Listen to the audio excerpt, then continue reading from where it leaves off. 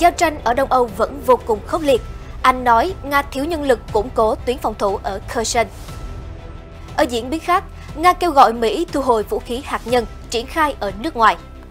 Truyền thông Mỹ đưa tin, Lầu Năm Góc xác định ông Putin là mối đe dọa hạt nhân cấp bách của Hoa Kỳ.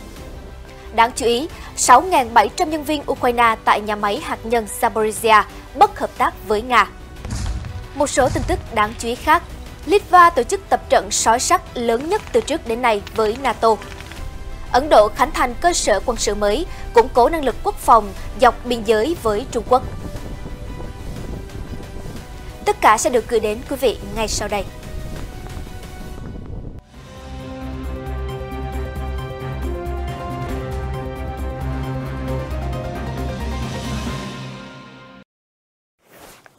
Chào mừng quý vị đến với chương trình tin nóng. Mở đầu chương trình là những tin tức liên quan đến xung đột ở Đông Âu.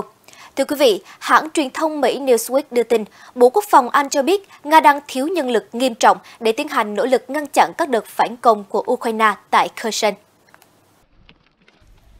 Trong bản cập nhật tin tức liên quan tới cuộc giao tranh ở Ukraine, Bộ Quốc phòng Anh cho biết, Nga có thể đã tăng cường một số đơn vị ở phía tây sông Dnipro, chủ yếu huy động lực lượng dự bị. Tuy nhiên, số lượng lính biên chế cực kỳ thấp. Theo phía London, trong 6 tuần qua, các lực lượng mặt đất của Nga đã chuyển sang thế trận phòng thủ lâu dài trên hầu hết khu vực tiền tuyến. Điều này có thể xuất phát từ đánh giá thực tế rằng lực lượng vừa được biên chế chỉ có đủ năng lực để phòng thủ. Bộ Quốc phòng Anh đánh giá, ngay cả khi Nga thành công trong việc củng cố các tuyến phòng thủ lâu dài ở Ukraine, quân đội của nước này cũng rất dễ bị tổn thương. Để giành lại thế chủ động, Moscow cần tái cơ cấu lực lượng cơ động tinh nhuệ hơn, có khả năng chủ động phòng chống lại các cuộc đột kích của Ukraine, đồng thời phát động các cuộc tấn công mạnh mẽ vào phòng tuyến đối phương. Hiện Bộ Quốc phòng Nga chưa đưa ra bình luận liên quan đến đánh giá của London. Những tin tức liên quan đến xung đột ở Ukraine chưa thể được xác minh độc lập. Một diễn biến đáng chú ý gần đây là việc Mỹ tuyên bố có thể triển khai bom hạt nhân phiên bản nâng cấp tại châu Âu. Nga phản ứng như thế nào? Mời quý vị tiếp tục theo dõi. Hôm 26 tháng 10, Politico đưa tin Mỹ sẽ đẩy nhanh kế hoạch triển khai bom hạt nhân thông minh B-6112 được nâng cấp ở châu Âu. Theo TASS, bình luận về diễn biến trên, đại sứ Nga tại Mỹ Anatoly Antonov đã kêu gọi Mỹ thu hồi mọi vũ khí hạt nhân mà nước này đã triển khai tại những quốc gia khác. Ông Antonov nói, giữa thời điểm nhiều rủi ro an ninh như hiện nay, các quốc gia hạt nhân cần đặc biệt có trách nhiệm trong việc ngăn chặn căng thẳng leo thang. Một lần nữa, tôi kêu gọi Washington thu hồi tất cả vũ khí hạt nhân đã triển khai ở nước ngoài, hủy bỏ mọi cơ sở hạ tầng lưu trữ, bảo trì, cũng như ngừng mô phỏng các hoạt động sử dụng vũ khí hủy diệt với sự tham gia của quân đội các nước phi hạt nhân, theo điều mà phương Tây gọi là một phần của các sứ mệnh hạt nhân chung của NATO. Theo vị đại sứ, điều này vốn đi ngược lại các nguyên tắc cơ bản của Hiệp ước không phổ biến vũ khí hạt nhân.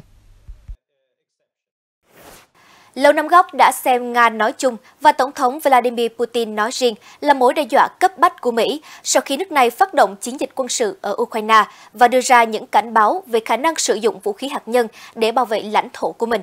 Truyền thông Mỹ Newsweek đưa tin. Bộ Quốc phòng Mỹ đã dùng từ cấp bách tổng cộng 10 lần trong tài liệu chiến lược quốc phòng năm 2022 của mình – Báo cáo của Washington đã cáo buộc Nga dùng vũ lực để thay đổi biên giới và tái thiết lập sức ảnh hưởng của mình, xem nhẹ nền độc lập của các nước láng giềng. Minh chứng là cuộc tấn công vô cớ vào Ukraine. Washington còn cảnh báo Nga có thể triển khai lực lượng hạt nhân của mình để giành chiến thắng trong cuộc xung đột ngoại vi. Tổng thống Joe Biden mới đây đã cảnh báo Nga rằng những hành động khiêu khích liên quan đến việc sử dụng vũ khí hạt nhân là một sai lầm nghiêm trọng. Thưa quý vị, bên cạnh các mối đe dọa hạt nhân, Mỹ còn cảnh giác với tên lửa hành trình tầm xa, hoạt động an ninh mạng và chiến dịch truyền thông của Nga. Washington cũng cảnh giác với vũ khí, hóa học, sinh học và các chiến dịch vùng xám của Moscow. Lầu Năm Góc cho biết, thế giới đối mặt với vô số thách thức ở thời điểm hiện tại và trong hai thập kỷ tới. Bộ trưởng Quốc phòng Mỹ Lloyd Austin tuyên bố rằng những thay đổi về địa chính trị, công nghệ, kinh tế và môi trường sẽ định hướng hoạt động của Lầu Năm Góc trong nhiều thập kỷ tới. Chúng ta đang sống trong thời kỳ hỗn loạn. Tuy nhiên, tôi tin tưởng rằng Lầu Năm Góc sẽ cùng các đối tác và đồng minh trên toàn thế giới cùng tìm giải pháp đối phó với những thách thức của thập kỷ này, ông Austin nhấn mạnh. Tại nhà máy điện hạt nhân lớn nhất châu Âu Zaporizhia ở miền nam Ukraine, nhà điều hành cơ sở này cho biết khoảng 6.700 nhân viên của nhà máy đang bất hợp tác với Nga, theo Sky News đưa tin. Nhà máy điện hạt nhân Zaporizhia đã nằm dưới quyền kiểm soát của Nga kể từ những ngày đầu nước này phát động chiến dịch quân sự đặc biệt ở Ukraine. Tuy nhiên, nhiều nhân viên Ukraine vẫn đang làm ở cơ sở này. Mới đây, công ty Energoatom, đơn vị điều hành các nhà máy điện hạt nhân của Ukraine cho biết khoảng 6.700 nhân viên của nhà máy đã từ chối hợp tác với Nga. Chỉ có khoảng 100 người ký hợp đồng với Moscow. Trước đó, Điện Kremlin tuyên bố 1.000 nhân viên của nhà máy Zaporizhia đã đồng ý làm việc với Tập đoàn Năng lượng Hạt nhân Nhà nước Rosatom của Nga. Energoatom cho rằng thông tin trên hoàn toàn sai lệch. Thời gian qua, Nga và Ukraine đã đổ lỗi lẫn nhau pháo kích vào nhà máy Zaporizhia. Các cuộc tấn công làm dấy lên lo ngại thảm họa hạt nhân sẽ nổ ra tại cơ sở này. Zaporizhia là một trong bốn khu vực mà Nga tuyên bố đã sáp nhập sau cuộc trưng cầu dân Ý mà Ukraine và phương Tây cho là bất hợp pháp. Ở diễn biến khác đáng chú ý, Litva đang tổ chức các cuộc huấn luyện quân sự lớn nhất từ trước đến nay với các đồng minh NATO. Trung tướng Valdemaras Rupsit, chỉ huy quân sự hàng đầu của Tây Ban Nha và chỉ huy Đức tại nhóm tác chiến đa quốc gia của NATO đều nhận định cuộc tập trận là minh chứng cho thấy Liên minh quân sự phương Tây luôn trong tâm thế sẵn sàng bảo vệ lãnh thổ của mình, theo Reuters đưa tin. Cuộc tập trận giữa Litva và các quốc gia đồng minh có tên là Sói sắt, kéo dài đến ngày 30 tháng 10, có sự tham gia của hơn 3.500 lính từ quân đội Litva và 8 quốc gia thành viên NATO khác. Ông Rupsit nói, thông qua cuộc tập trận, chúng tôi có thể đánh giá quân đội Ukraine đoàn kết với nhau như thế nào trong cùng một nhiệm vụ để sẵn sàng bảo vệ lãnh thổ của liên minh. Trong khi đó, ông Mal Becker cho biết thêm, cuộc tập trận cho thấy quân đội NATO đã sẵn sàng chiến đấu. Theo Reuters, kể từ khi Nga tiến hành chiến dịch quân sự đặc biệt ở Ukraine hồi tháng 2, các quốc gia Baltic như Estonia, Latvia và Litva đã kêu gọi NATO xây dựng lực lượng quân sự sẵn sàng chiến đấu lớn nhất ở châu Âu. Kể từ khi chiến tranh lạnh kết thúc, mục tiêu là củng cố vững chắc an ninh tại các nước này như một cách bảo vệ sườn phía đông của liên minh. Tuy nhiên, các nước NATO không sẵn sàng cam kết xây dựng các căn cứ lâu dài ở Baltic, vì điều đó tiêu tốn hàng tỷ đô la và khó có thể duy trì lâu dài. Ngoài ra, các quốc gia có thể không đủ quân đội và vũ khí. Bên cạnh đó, việc quân đội liên minh hiện diện thường trực ở sát biên giới Nga có thể khiến Moscow xem là động thái khiêu khích. Thay vào đó, NATO chọn cử hàng nghìn binh sĩ túc trực ở các quốc gia cách xa Nga hơn về phía Tây như Đức, để có thể tiếp viện nhanh chóng nếu xung đột nổ ra. Ở diễn biến khác, trong chuyến thăm Serbia hôm 28 tháng 10, Chủ tịch Ủy ban châu Âu Ursula von der Leyen đã thúc giục nước này có chung tiếng nói với EU trong các vấn đề chính sách an ninh và đối ngoại, theo Reuters cho biết. Bà von der Leyen đã gặp Tổng thống Serbia Alexander Vucic tại thành phố Nice ở miền Nam. Tại đây, hai nhà lãnh đạo đã đến thăm địa điểm xây dựng tuyến khí đốt dài 150 km nối giữa Serbia và Bulgaria. Được biết, Serbia đang trong quá trình gia nhập EU. Tuy nhiên, nước này phải giải quyết tất cả các vấn đề còn tồn động với Kosovo. Hai bên đã đồng ý tham gia cuộc đối thoại do EU làm trung gian vào năm 2013, nhưng quan hệ song phương vẫn không mấy tiến triển. Trong cuộc họp báo chung, bà Leyen nói, sự hòa hợp về chính sách đối ngoại và an ninh là rất quan trọng, vì ý nghĩa của việc gia nhập EU là chia sẻ các giá trị chung và có cùng định hướng trong các quyết định địa chính trị. Nữ chủ tịch cũng nhấn mạnh, EU luôn xem Serbia là đối tác tin cậy. Bà Leyen cũng thông báo rằng Serbia sẽ nhận được 165 triệu euro tiền tài trợ như một phần của gói hỗ trợ năng lượng 500 triệu euro cho phía Tây Balkans.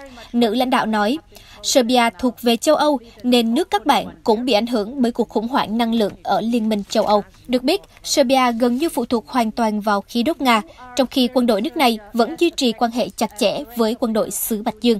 Điện Kremlin cũng đã ủng hộ việc quốc gia vùng Balkan phản đối sự độc lập của Kosovo bằng cách đóng băng tư cách thành viên Liên Hợp Quốc của vùng lãnh thổ này. Mặc dù Serbia ủng hộ hai nghị quyết của Liên Hợp Quốc lên án việc Nga tiến hành chiến dịch quân sự ở Ukraine, Tuy nhiên, nước này từ chối áp đặt các biện pháp trừng phạt nhắm vào Moscow. Ở khu vực châu Á, theo Sputnik News, vào hôm 28 tháng 10, Ấn Độ đã bắt đầu vận hành các cầu, đường và bãi đá máy bay trực thăng chiến lược. Đây là nỗ lực của New Delhi trong việc nâng cao khả năng điều động binh sĩ và vận chuyển hàng hóa trong trường hợp xảy ra xung đột với Trung Quốc. Bộ trưởng Quốc phòng Ấn Độ Rajnath Singh đã tham dự buổi khánh thành cầu Siok Class 70 dài 120 m trên đường Dabok Siok Daulat Bek Odi DSDBO bắc qua các đèo núi lên đến bãi đáp máy bay cao nhất thế giới ở khu vực Ladakh. Cây cầu là một trong số 75 dự án cơ sở hạ tầng trọng yếu, đánh dấu một bước tiến chiến lược quan trọng của Bộ Quốc phòng Ấn Độ.